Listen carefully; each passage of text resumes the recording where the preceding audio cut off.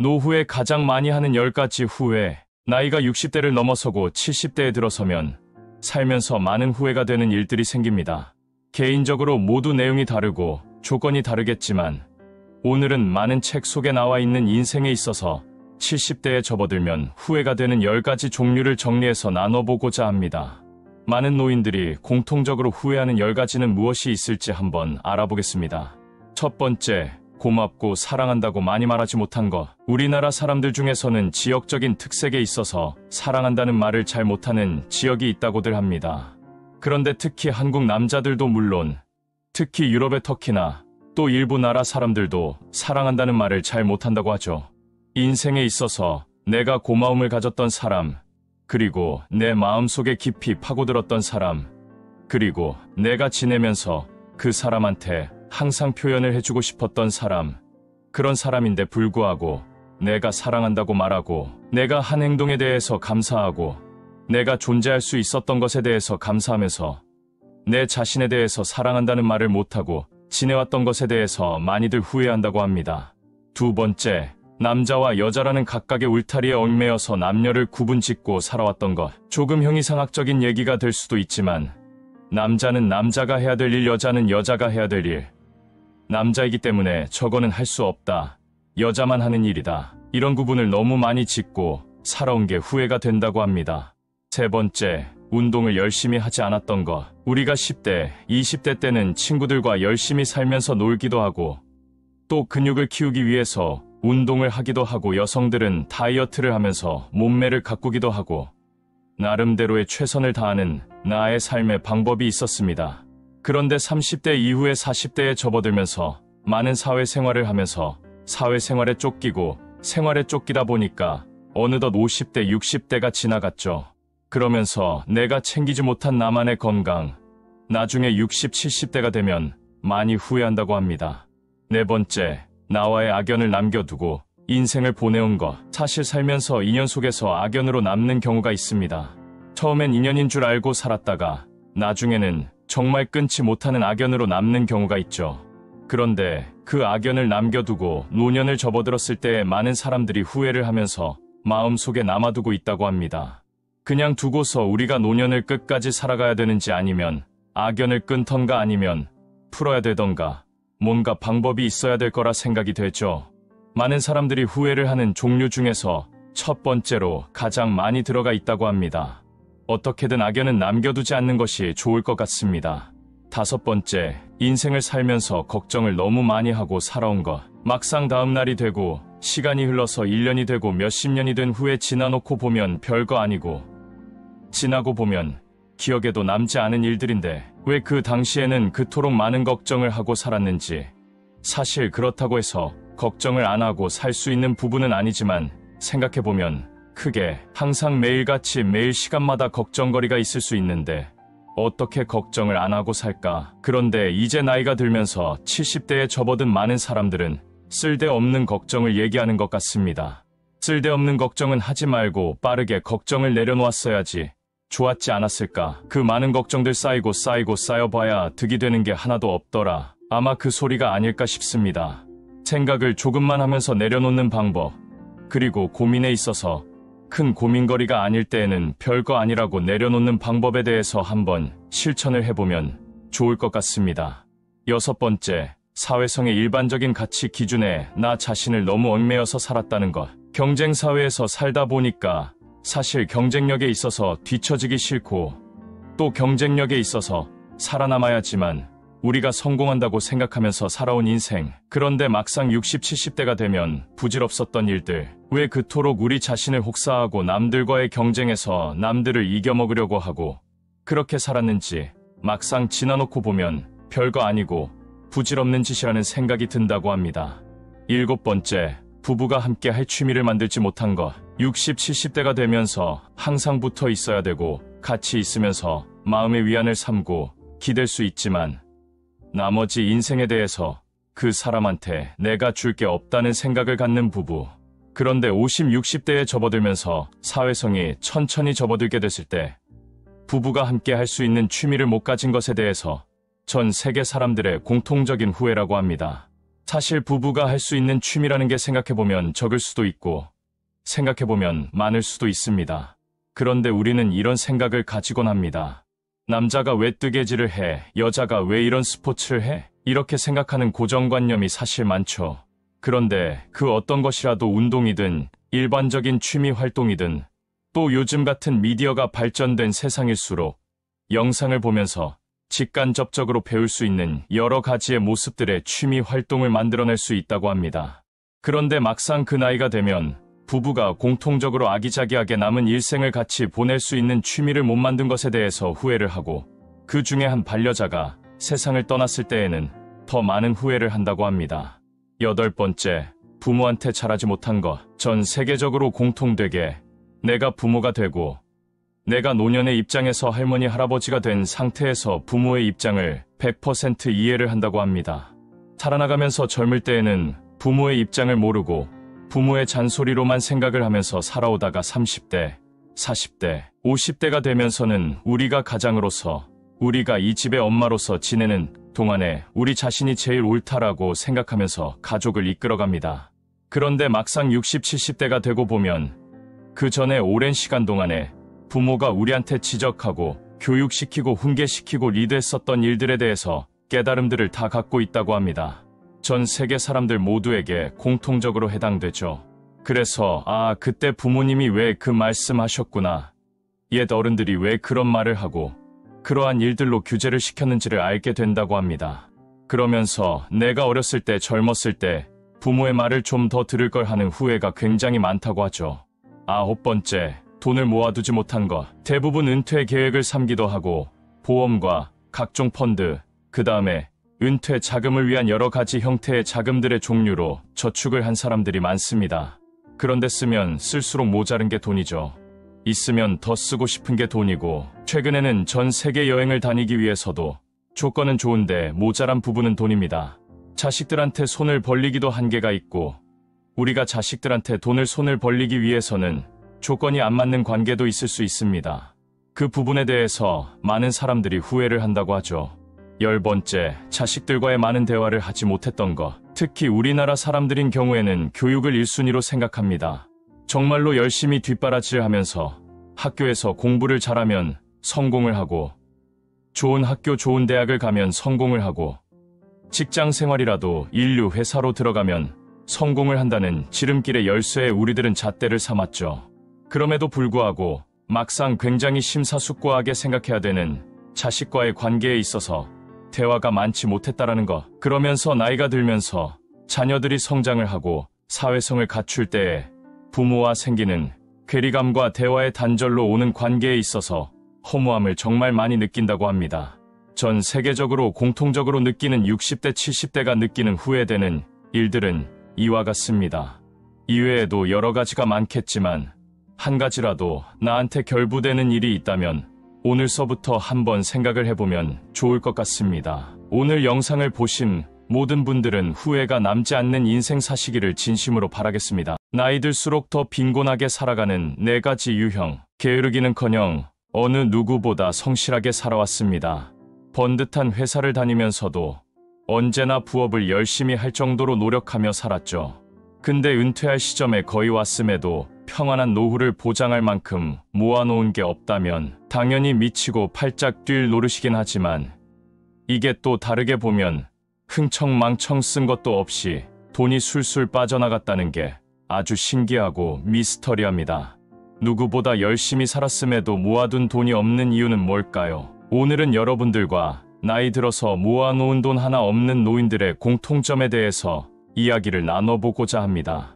첫 번째, 소탐대실. 작은 것을 탐하다 큰 것을 잃는다는 소탐대실. 돈 못 모으는 사람들이 갖고 있는 첫 번째 공통점은 적은 돈에는 벌벌 떨면서 뭉칫돈이 나갈 때는 의외로 계산도 허술하게 하고 쉽게 결정한다는 경향이 있습니다.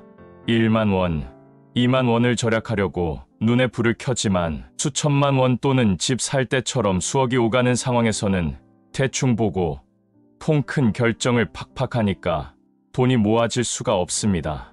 목돈을 써야 할 때 회사 일하듯 검토에 검토를 거쳐서 결제를 받는 마음으로 이렇게 철두철미하게 했다면 얼마나 좋겠냐마는 자기 돈을 쓸 때는 자기가 무슨 재벌 아들쯤이라도 되는 것처럼 그냥 앞뒤 재지도 않고 쉽게 결정을 척척 해버리니까 평소에 작게 절약해온 그 노력은 온데간데 없어지고 크게 손해를 보는 일이 찾아집니다.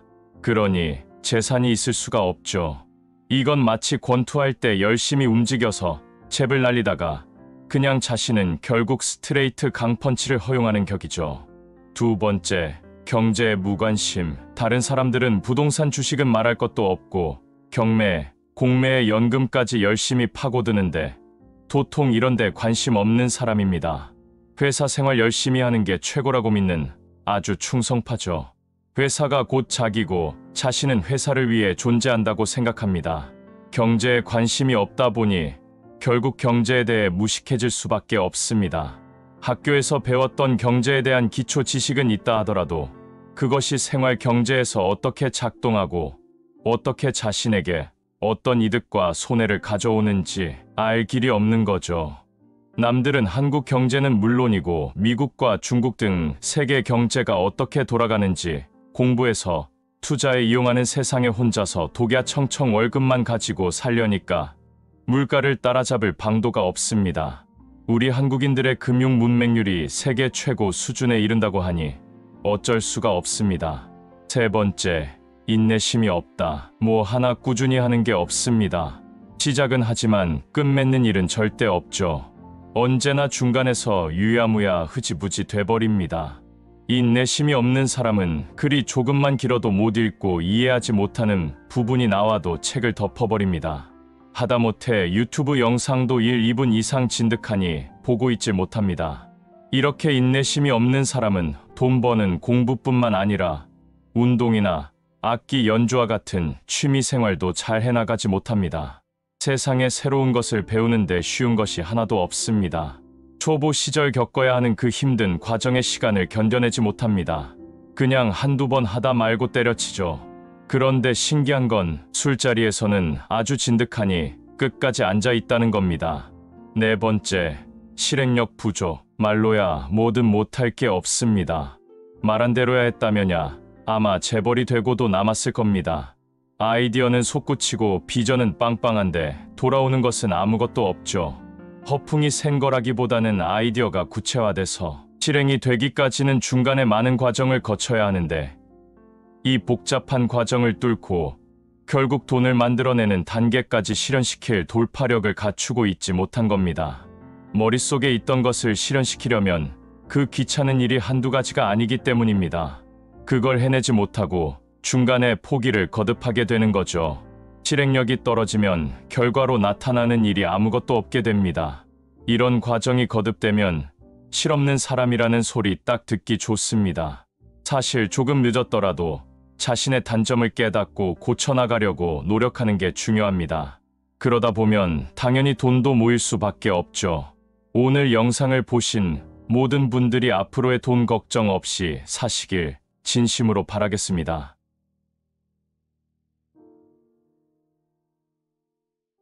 노후 건강을 잃기 싫다면 반드시 알아야 하는 여섯 가지 예전에 어르신들 모이면 항상 이런 이야기들을 하셨습니다.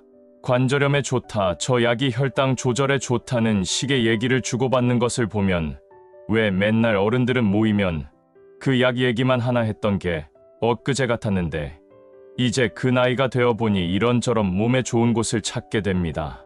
세월이 정말 빠른 것 같습니다. 건강에 대해 말하면 사람들이 제일 먼저 떠올리는 것이 규칙적인 운동일 겁니다. 그래서 만보 걷기를 시작으로 등산도 다니고 자전거도 열심히 타고 가까운 헬스클럽 회원권도 끊고 말이죠. 하지만 건강을 위한다면 운동보다 먼저 해야 할 것들이 있습니다. 누군가는 이걸 갖고 운동하지 않아도 오래 사는 비결이라고까지 얘기를 하는 걸 보면 그만큼 건강에 미치는 영향도 크고 효과도 아주 좋다는 얘기겠습니다. 그래서 오늘은 건강을 위해 운동보다 중요한 그 여섯 가지에 대해 이야기를 해보려고 합니다. 첫 번째, 폴리페놀을 많이 먹어야 합니다. 항산화의 여왕, 체내 염증 청소부, 동안식품, 이런 화려한 별명을 갖고 있는 것이 바로 폴리페놀입니다. 폴리페놀은 대표적인 항산화 물질로 체내 세포를 공격하는 활성산소를 억제해서 체내 염증을 예방하고 DNA와 건강한 세포를 보호하는 그런 역할을 하는데 종류만도 5천여 개에 이를 정도로 아주 다양합니다. 이런 멋진 폴리페놀은 카카오, 녹차, 포도, 고구마, 블루베리, 크랜베리, 양파, 사과에 많이 들어 있습니다. 초콜릿을 먹으면서 폴리페놀 효과를 보시려면 카카오 70% 이상 함유된 다크 초콜릿을 드셔야 합니다. 일반 밀크 초콜릿 드시면 당만 올라가죠. 전혀 좋지 않습니다. 폴리페놀은 심혈관 보호에도 좋고 혈압에도 좋습니다. 두 번째, 탄수화물을 적게 먹어야 합니다. 한국 사람은 뭐니 뭐니 해도 밥심으로 산다는 말이 있듯이 밥 한두 공기 배불리 뚝딱 먹어 치우는 것을 건강을 지키는 비결로 여기는 생각은 여전한 듯 싶습니다. 땀을 뻘뻘 흘리면서 열심히 먹는 것을 보면 참 복스럽게도 먹는다는 말이 절로 나오죠. 하지만 역설적이게도 우리의 믿음과는 달리 탄수화물은 중장년기 허리둘레를 늘리는 1등 공신 중의 하나입니다. 비만인 사람들 치고 밥과 빵, 국수류를 싫어하는 사람은 없을 겁니다. 술 마시고 귀가한 늦은 밤, 얼큰한 국과 밥 한 그릇 또는 라면 한 그릇 생각만 해도 죽여집니다만 신진대사가 점점 느려지고 있는 우리 중장년들에게는 아주 취약 중의 취약입니다. 혈당 올리고 내장 지방 쌓이고 말이죠. 탄수화물을 아무리 안 먹는다 해도 하루에 100g 이상은 섭취해야 신체 기능을 유지할 수 있다고 하니까 드시더라도 흰쌀밥과 밀가루 빵은 피하고 현미밥이나 통밀 등 도정하지 않은 곡류를 드시는 것이 훨씬 좋습니다. 혀가 깔깔한 그 음식을 드시는 게 되레 몸에 좋다는 거죠. 입에 살살 녹는 것은 줄여나가야 합니다. 탄수화물도 중독성이 있으니까 신경 쓰고 조절해야지. 그렇지 않으면 허리살을 주체하기가 정말 힘들어집니다. 세 번째, 올리브 오일을 먹자. 올리브 오일처럼 건강에 좋은 불포화 지방식품은 포만감을 줘서 배고픔을 최대한 4시간 참을 수 있게 해준다고 합니다. 뱃살을 빼는 좋은 방법 중에 공복에 올리브 오일을 먹어 식욕을 억제하는 것이 널리 쓰이기도 합니다. 이뿐만 아니라 탄수화물을 먹을 때도 올리브 오일과 같이 먹게 되면 체중 증가 억제 효과가 있습니다. 밥 한 술에 올리브 오일 한 술이 아니라 샐러드에 올리브 오일을 넣어서 함께 드실 수 있습니다. 여러 가지 방면으로 올리브 오일을 드시는 방법을 생각해내셔야 합니다. 올리브 오일이 탄수화물과 같은 당 지수가 높은 음식을 먹을 때 혈당 지수를 억제하는 아주 좋은 역할을 하죠. 네 번째, 적게 먹기. 식탐 많은 사람은 음식을 마주하면 그냥 잊어버리는 것이 바로 적게 먹는 겁니다. 다 먹고 배가 터질 듯이 부르면 때론 너무 많이 먹어서 등까지 아파올 때 비로소 깨닫죠. 소식해야 되는데 오늘도 또 틀렸다. 너무 많이 먹었다. 전문가들에 의하면 장수 유전자가 활성화되기 위해서는 위장의 70%쯤 찼을 때 숟가락을 딱 놓는 게 좋다고 합니다. 중장년 이후에는 혈당치가 안정되도록 관리하는 게 중요한데 그러기 위해서는 배가 부르도록 먹는 것은 금물 중의 금물이죠. 허기져서 공복에 허겁지겁 먹는 것을 피하기 위해서라도 아침밥은 챙겨 먹는 게 좋고 식사 전에 물 한 컵 마시고 시작하는 방법도 있죠. 다섯 번째, 천천히 음식을 씹어 먹기. 우리가 음식을 꼭꼭 씹어 먹어야 하는 이유는 첫째, 위액 분비를 촉진시켜서 음식의 소화, 흡수를 좋게 하고, 둘째, 조금만 먹어도 포만감이 느껴져 소식이 가능해집니다. 그리고 세 번째가 뇌의 움직임이 활발해져서 기능 발달에도 좋습니다. 그리고 넷째가 미각이 민감해져서 심리적인 만족감을 얻게 됩니다. 그러니까 음식을 꼭꼭 씹어 먹어야 하는 것은 소식을 하기 위해서는 꼭 해야 하는 것이죠. 그와 더불어 나이 먹으면서 소화 기능이 떨어질 수밖에 없는데 천천히 먹게 되면 위의 과부하를 막아주는 효과가 있습니다. 엄청난 놀라운 사실은 천천히 씹어 먹으면 치매 예방에도 도움이 된다는 것입니다. 음식을 천천히 꼭꼭 씹어 먹으면 뇌에 자극을 주게 되고 그래서 뇌에 흐르는 혈액량이 늘어 집중력과 기억력도 좋아질 수 있습니다.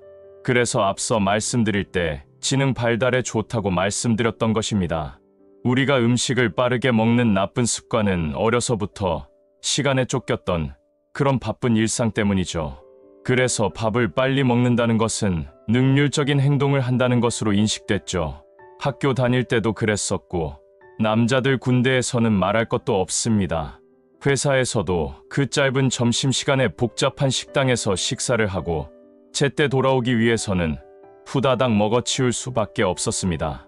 그야말로 그 속된 말로 우리는 식사를 한다는 것이 식사를 즐기고 이야기를 하고 그러는 것이 아니라 그냥 배 채우는 그 이상도 이하도 아니었던 겁니다. 이제부터라도 건강을 위해서라도 음식 좀 천천히 씹어 삼키셔야 합니다. 마지막 여섯 번째, 잠들기 전 허브티를 마시기. 중장년 들어서도 수면 부족을 호소하는 분들이 많이 있습니다. 잠이 부족하면 혈압을 증가시키고 잠 못 드는 밤에 느끼는 그 심한 배고픔 때문에 늦은 식사를 하게 되고 낮 시간 동안에는 더 많은 탄수화물과 설탕을 찾게 된다고 합니다. 이러면 당연히 체중이 불어날 수밖에 없죠. 잠을 자서 재충전을 해야 되는데 잠을 못 자니 면역 체계도 망가져서 바이러스 감염의 위험이 증가하게 될 뿐 아니라 집중력과 인지 능력이 떨어지고 치매나 알츠하이머 발병 가능성이 높아지고 우울증도 걸리기 쉽습니다. 그러니까 적어도 컴퓨터 게임을 밤늦게까지 한다거나 TV를 밤늦게까지 본다거나 잠자리에 들어서도 핸드폰을 보는 것과 같은 수면을 방해하는 행동은 자제하고 또 자제해야 합니다. 전문가들은 이런 전자기기들을 침실에서 치우고 잠자기 1시간 전부터는 기기 사용을 피해야 한다고 조언합니다.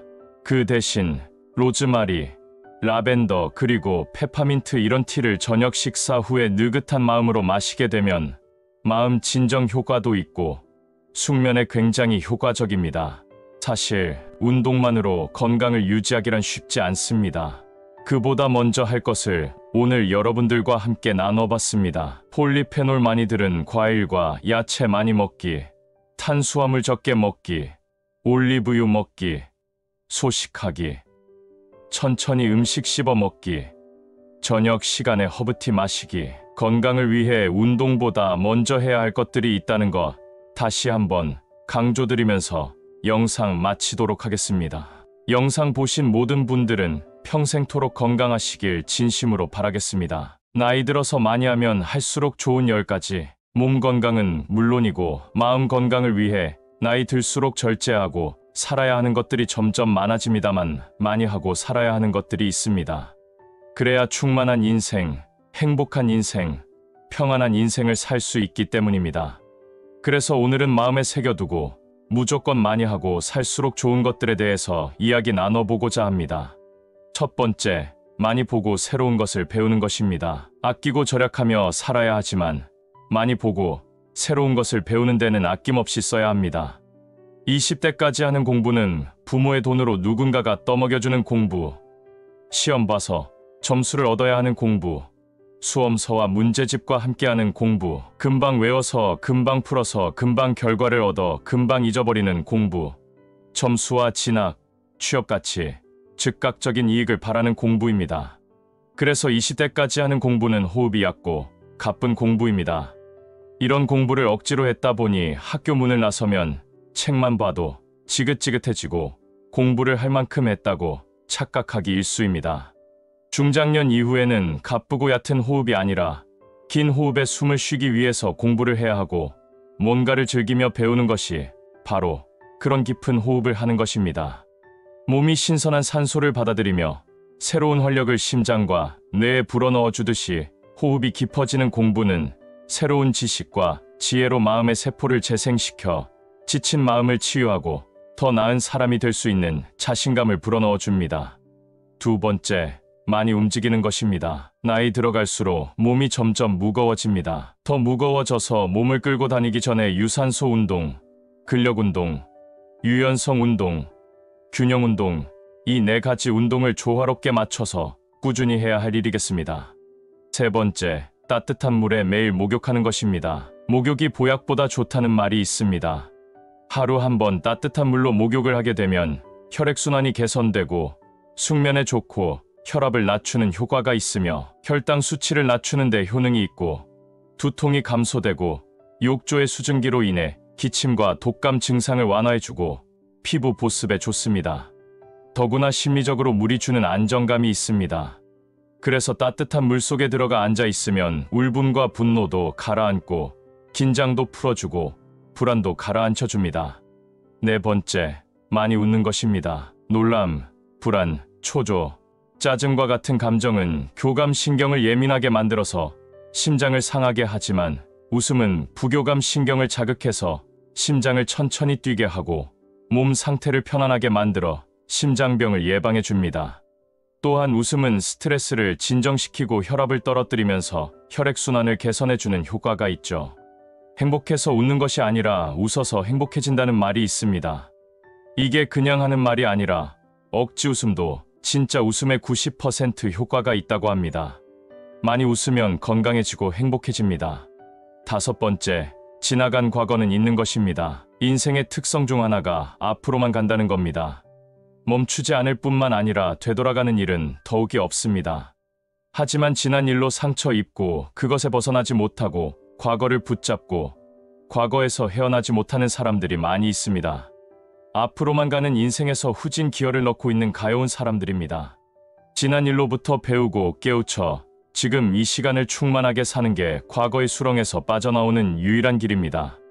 여섯 번째, 고요한 마음을 갖는 것입니다. 마음 건강을 위해서 명상을 많이 하는 것이 좋다는 것이 널리 알려져 있습니다. 명상을 하면 웃을 때처럼 부교감 신경이 활성화돼서 자율신경계의 안정을 가져오고 근육은 이완되고 심장 박동과 뇌파는 안정화되면서 몸에 산소 공급이 원활해지고 그래서 몸과 마음이 안정을 되찾게 됩니다.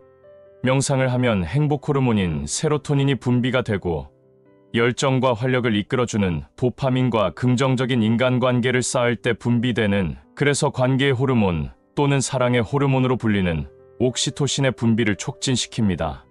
일곱 번째, 용서하고 너그러워지는 것입니다. 용서와 관련해서 이런 말씀이 있습니다.